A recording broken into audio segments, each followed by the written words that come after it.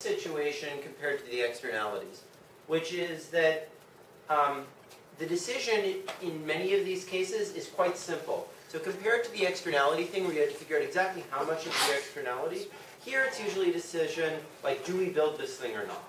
So that simplifies things significantly. Uh, second, um, often for public goods, what, in some sense almost what we mean by public goods, as I said before, is that individuals have significant information about whether this is the right thing to do or not. So think about the example of eminent domain, right?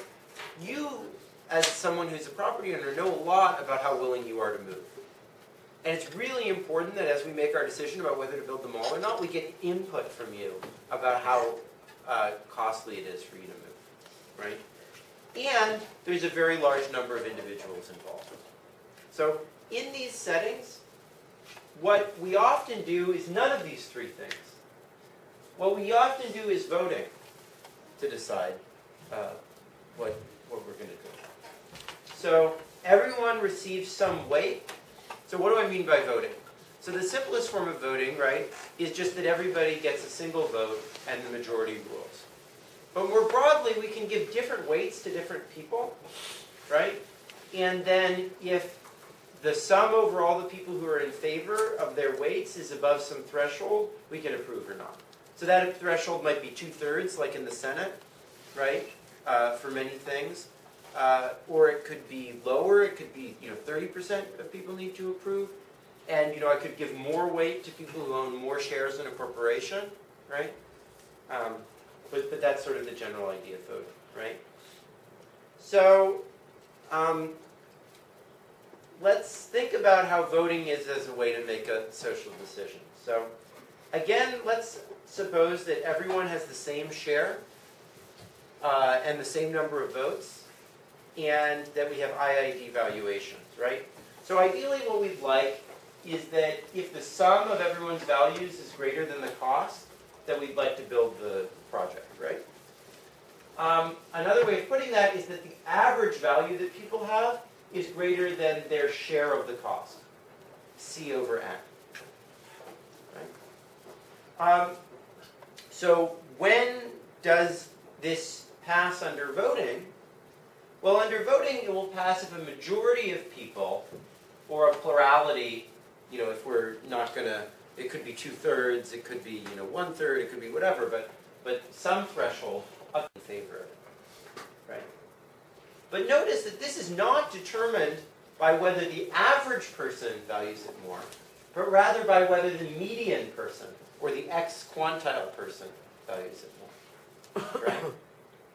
It's, so it'll get a majority of votes if half of the, if at least half of the people have values that are above their cost, rather than if the average person has the value above the cost, right?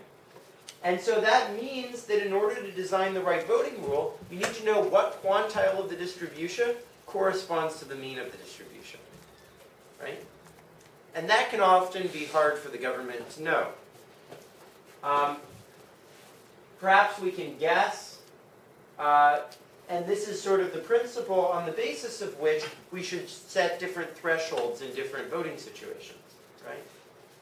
The reason why we set the you know threshold higher for things like constitutional amendments, I would guess, is that we think that the median may be well above the mean for constitutional changes.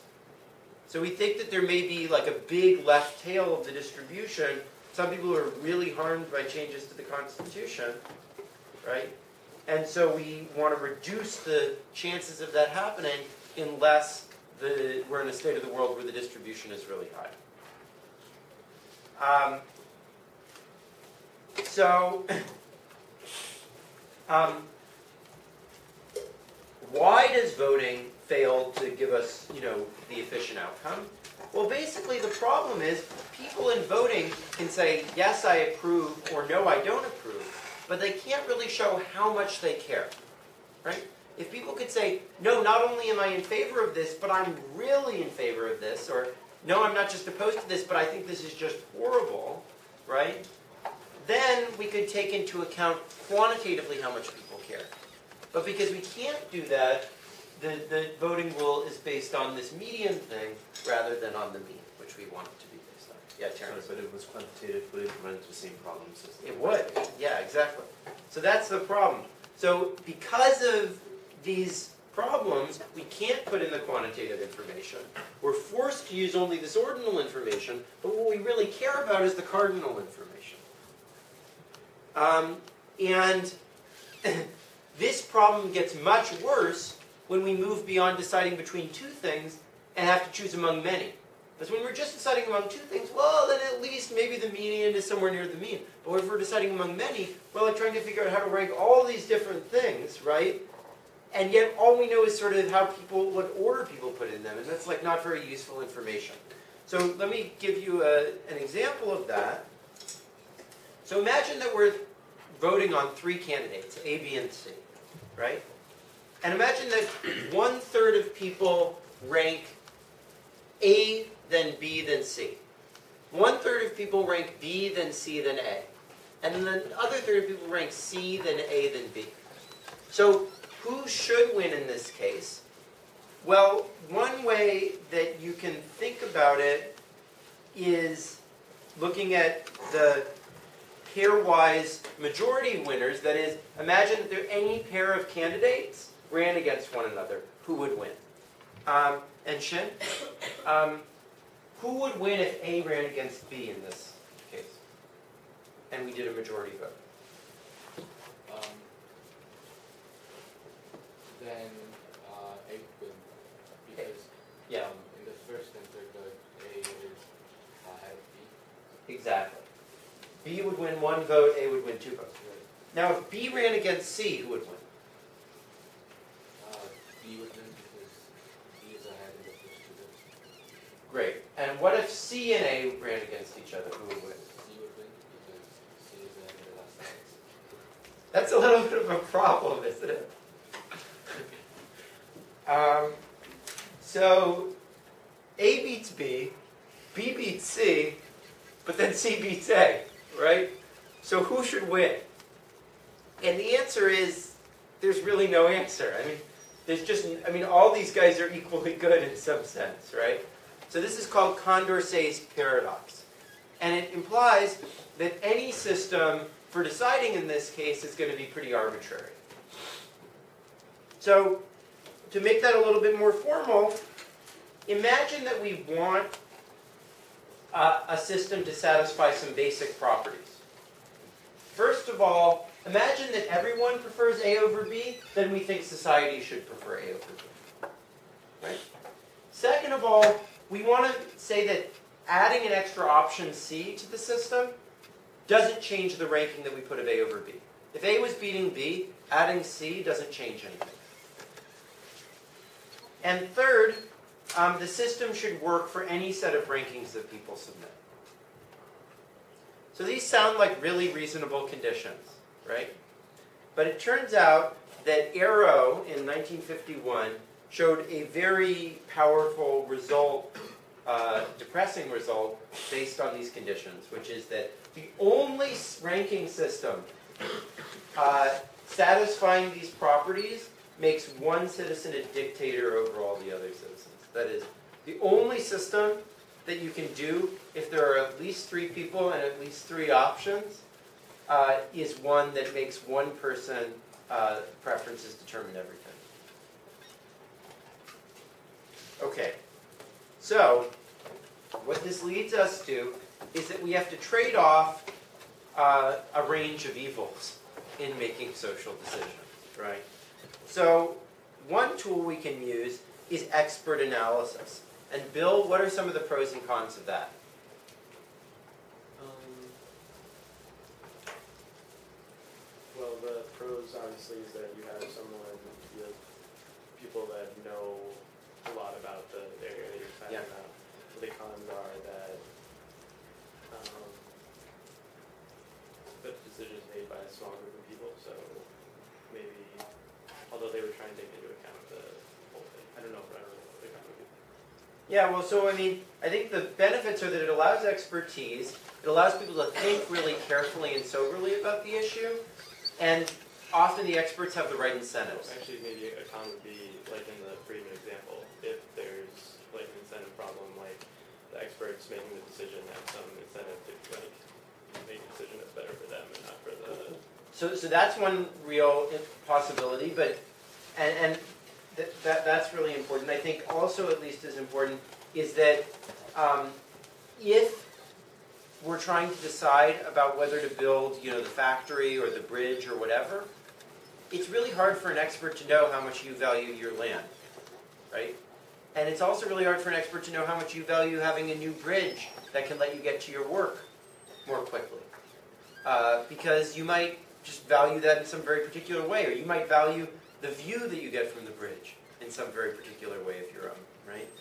And so it's going to leave out any information that is individual, that comes from individual people, right? So that's the major con, as well as the problem that the experts might manipulate things. Um, second option is the Vickrey-Clarke-Groves mechanism. And Mike, what are the pros and cons of the Vickrey-Clarke-Groves mechanism?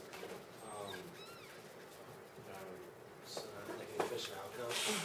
Yeah? Because the people respond to their, the value that they Yeah. have, but at the same time, you can have uh, confusion and problems with people grouping together. Yeah, absolutely. So the benefit is that it efficiently incorporates everyone's information. That's good. But the problem is that it's totally impractical.